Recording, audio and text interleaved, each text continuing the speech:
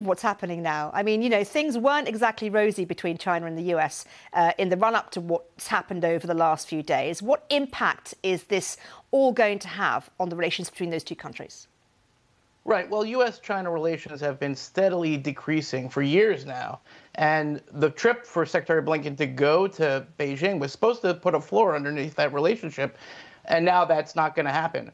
So you have to imagine that there are people on both sides who are scrambling to re-establish this basic diplomatic uh, uh, arrangement, but that doesn't change the overall course of U.S.-China relations, which are going down fast for a lot of reasons that have nothing to do with the balloon. China's military expansion, its internal repression, its economic regression, its crackdown in Hong Kong, its menacing of Taiwan. All of these things are putting downward pressure on the relationship. And China doesn't seem to be willing to address any of those to the satisfaction of the international community. So the balloon is just really the straw that broke the camel's back. Uh, but it's going to get worse before it gets better. Mm, how, how much worse?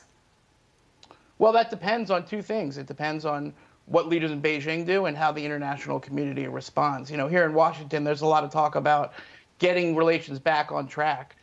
But there's also a realization, both inside the Biden administration and in Congress, that actually smooth relations is not really the main goal of dealing with China, and that we can't have smooth relations on any terms.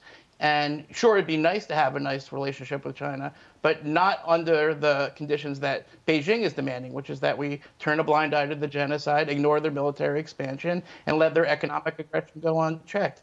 So it takes two to tango. And I think uh, until we see some change of behavior whatsoever from the Chinese side, uh, there's very little room for improvement. That's the bottom line.